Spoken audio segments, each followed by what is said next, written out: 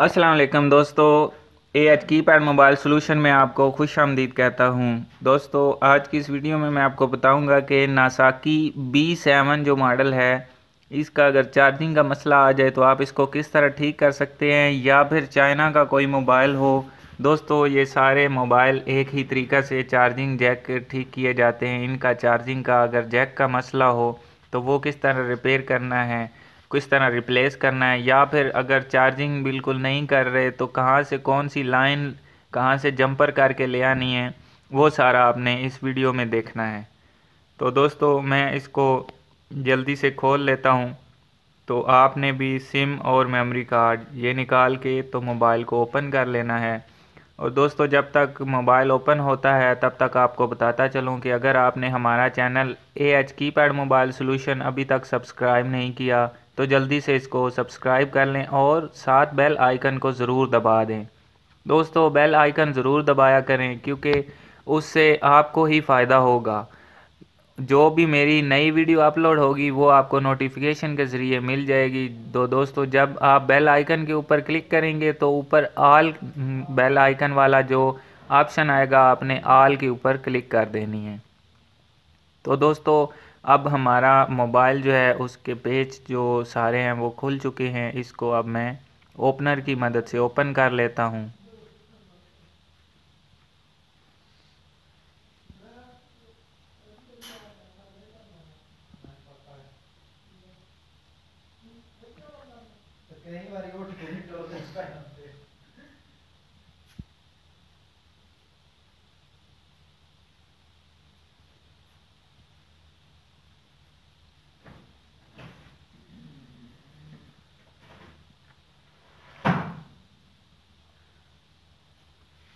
जी तो हमारा मोबाइल अभी इस वक्त खुल चुका है। सारा इसका जो पार्ट्स सारे हैं वो अलहदा हो चुके हैं। अब इसका कीपैड का जो स्टिकर होता है, उसको भी अलहदा कर लेते हैं।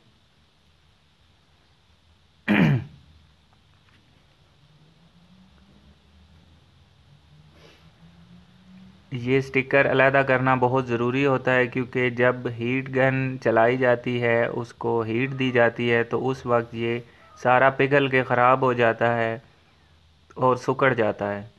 इस वजह से इसको आपने उतार लेना है। ये यहाँ से थोड़ा सा ज़्यादा चिपका हुआ है तो ख़राब हो रहा है। मैं इसको बड़े एहतियात से उतार लेता हूँ जल्दी से।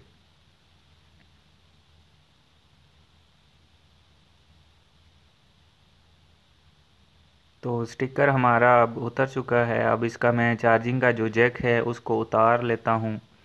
तो दोस्तों, आपने ध्यान से देखना है कि किस तरह ये चार्जिंग का जैक उतरता है। उस चार्जिंग जैक उतारने के लिए आपने पहले पेस्ट लगा लेनी है थोड़ी सी उसके बाद आपने हीट गन की मदद से थोड़ी सी हीट देनी है। थोड़ी सी मुराद इतनी हीट देनी है जिससे आपका चार्जिंग जैक आसानी से उतर जाए। ज़ोर नहीं लगाना, ज़ोर से अगर ताकत का इस्तेमाल करेंगे तो चार्जिंग जैक तो उतर जाएगा, लेकिन इसके नीचे जो पॉइंट होते हैं, वो भी टूट जाएँगे और ख़राब हो जाएँगे, फिर दोबारा आपका चार्जिंग का जैक नहीं लग सकेगा। अगर लग भी गया तो मज़बूती के साथ नहीं लग पाएगा और जल्दी टूट जाएगा। या चार्जिंग पिन आप जब प्लग इन करेंगे तो वो चार्जिंग जो केबल की पिन होती है, उसके साथ ही लग के बाहर आ जाएगी। इसलिए आपने इतनी हीट देनी है, इसके ताकि बोर्ड भी ख़राब ना हो और हमारा चार्जिंग का जो जैक है वो भी बसानी उतारा जा सके। तो अभी आप देख सकते हैं कि चार्जिंग जैक बड़े आराम से मैंने उतार लिया है। तो उसके बाद ये मेरे पास दूसरा चार्जिंग जैक है जो मैंने लगाना है। दोस्तों, आपने ये चार्जिंग जैक वैसे ही नया नहीं लगा देना, इसको पहले सोल्डिंग कर लेनी है। अगर आपको नहीं पता सोल्डिंग किस तरह करनी है तो दोस्तों, मैं एक दूसरी वीडियो का लिंक इस डिस्क्रिप्शन में दे दूँगा। आप वो वीडियो पूरी देखिएगा। उसमें चार्जिंग का जैक सोल्ड करके किस तरह लगाया जाता है, वो पूरी मुकम्मल वीडियो है, आप उसमें देख सकते हैं। इसमें मैं, आप दोस्तों का टाइम बचाने के लिए मैंने सोल्डिंग पहले से करके रखी हुई थी। चार्जिंग जैक को सोल्ड करके रखा हुआ था और पहला चार्जिंग जैक जो ख़राब था, वो निकाल के दोबारा से दूसरा मैंने लगा दिया और अब ये हीट गन की मदद से थोड़ा थोड़ा गर्म कर रहा हूँ। और साथ में सोल्डिंग भी कर रहा हूँ। तो दोस्तों, सोल्डिंग करने से ये होता है कि आपका जो चार्जिंग का जैक है, वो मज़बूती से पक्का लग जाता है और टूटता उतरता नहीं है।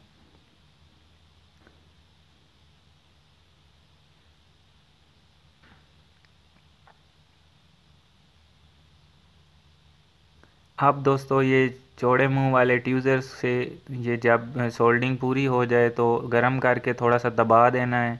और जब ये ठंडा हो जाए, थोड़ा सा यानी कि जब सोल्डिंग पक्की इसके साथ लग जाए तो आपने ये ट्यूज़र हटा लेना है और आपका चार्जिंग जैक जो है बेहतरीन किस्म का लग जाएगा और आपके यूएसबी के जो पॉइंट हैं वो भी काम करेंगे।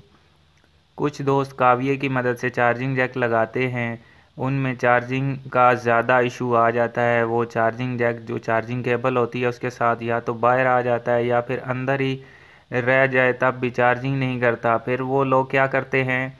वो चार्जिंग जैक को जंपर के ज़रिए लगा देते हैं, जिसके साथ सिर्फ़ चार्जिंग ही हो रही होती है यूएसबी काम नहीं कर रही होती। और चार्जिंग का जैक अंदर हिल रहा होता है, लेकिन चार्जिंग कर रहा होता है। तो इस परेशानी से बचने के लिए आप हीट गन का इस्तेमाल करें। आप देख सकते हैं कि मैंने काविये का इस्तेमाल नहीं किया। वो मैंने चार्जिंग जैक जो सोल्डिंग के लिए काविया इस्तेमाल किया है, वो मैंने वीडियो में नहीं दिखाया। वो मैंने पहले से ही चार्जिंग जैक एक सोल्ड करके रखा हुआ था, जिसको मैंने हीट गन की मदद से लगा दिया तो बताने का मकसद ये है कि जब आप चार्जिंग जैक बोर्ड के ऊपर लगा रहे हों, तब आप काविये का इस्तेमाल ना करें। या अगर करना पड़े तो कम से कम करें, जिससे चार्जिंग जैक जो है उसको कोई मसला ना हो और ना ही आपको जंपरिंग करनी पड़े। तो अब हमारा चार्जिंग का जैक लग चुका है। ये कीपैड का जो स्टिकर है, इसको भी मैं बड़े आराम से इसके ऊपर लगा देता हूँ, जहाँ पे इसके सारे बटन सही से फिक्स हो जाएँ। तो दोस्तों, अगर आपके चार चार्जिंग जैक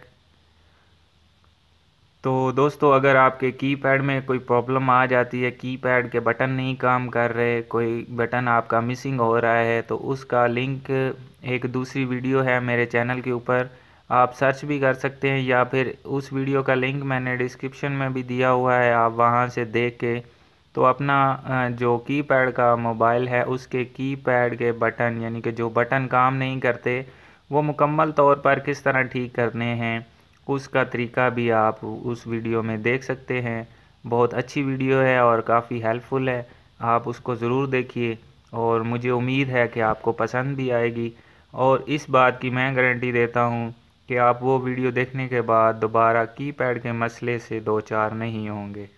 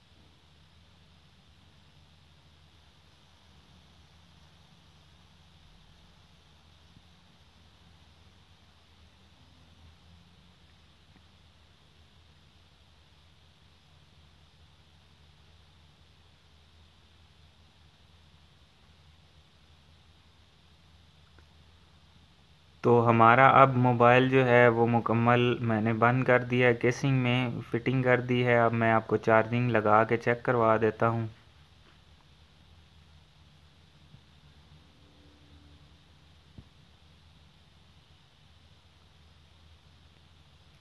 तो अभी आप देख सकते हैं कि चार्जिंग बिल्कुल ठीक हो रही है हमारी। जैसे ही मैंने चार्जिंग प्लग इन की है तो मोबाइल कुछ ही देर में चार्जिंग करना स्टार्ट हो गया है। तो मुझे उम्मीद है दोस्तों, आज की हमारी वीडियो आपको पसंद आई होगी। अगर पसंद आई हो तो लाइक ज़रूर कीजिए और शेयर कीजिए अपने दोस्तों में ताकि वो भी इसे फ़ायदा उठा सकें। और दोस्तों, मिलते हैं अगली वीडियो में एक नए से ट्रिक्स के साथ। तब तक के लिए A H keypad mobile solution को दीजिए इजाज़त। अल्लाह हाफिज़। अल्लाह निगेबान। पाकिस्तान, जिंदाबाद।